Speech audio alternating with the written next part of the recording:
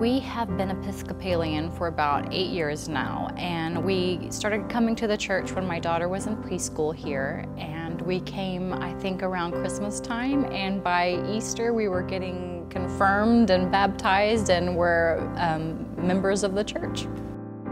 My daughter, she's now an acolyte here at St. Dunstan's. So it has really um, helped her with her confidence. It's just really been wonderful to have her have Mother Mary as an example to know that her place in the church is anywhere she wants to be. A woman can be behind the altar. That is the, a woman's place, and the Episcopal Church is in charge. So she can do whatever she wants, wherever she feels called to be. She can pursue that.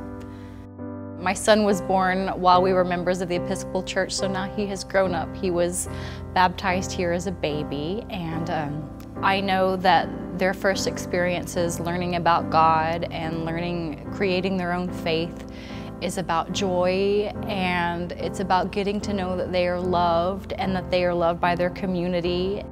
I love that we're all able to have communion together. and even the littlest, as soon as a child is baptized here in the church, they are, you know, can have communion.